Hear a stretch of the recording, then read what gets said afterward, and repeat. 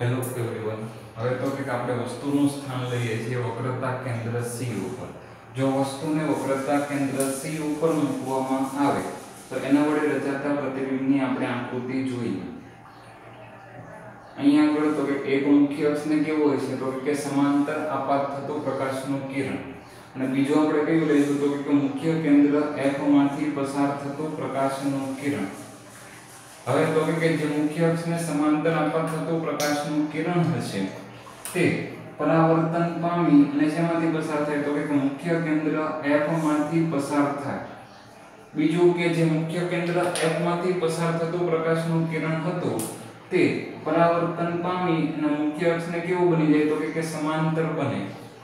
અને ત્યાં આગળ આપણને વસ્તુનું પ્રતિબિંબ એટલે કે જો અહીંયા આગળ વસ્તુને આપણે a b કીધી હોય તો પ્રતિબિંબને a ડેશ અને b ડેશ કહીએ. હવે તો કે આપાત કિરણ તો આ પરાવર્તિત કિરણ, આપાત કિરણ મુખ્ય કેન્દ્ર F પસાર થાય છે, પરાવર્તન પામી અને મુખ્ય અક્ષને કેવું બનશે તો કે સમાંતર બનશે.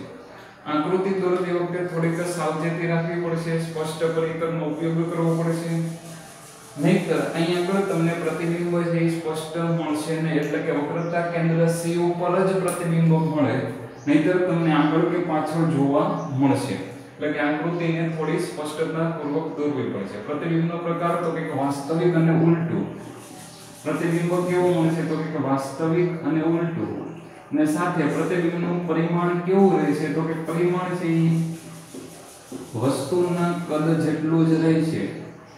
એટલે કે વક્રતા કેન્દ્ર C ઉપર વસ્તુ હોય તો પ્રતિબિંબ C ઉપર અને પ્રતિબિંબ પછી વસ્તુના કદ જેટલું જ આપણને જોવા મળે છે.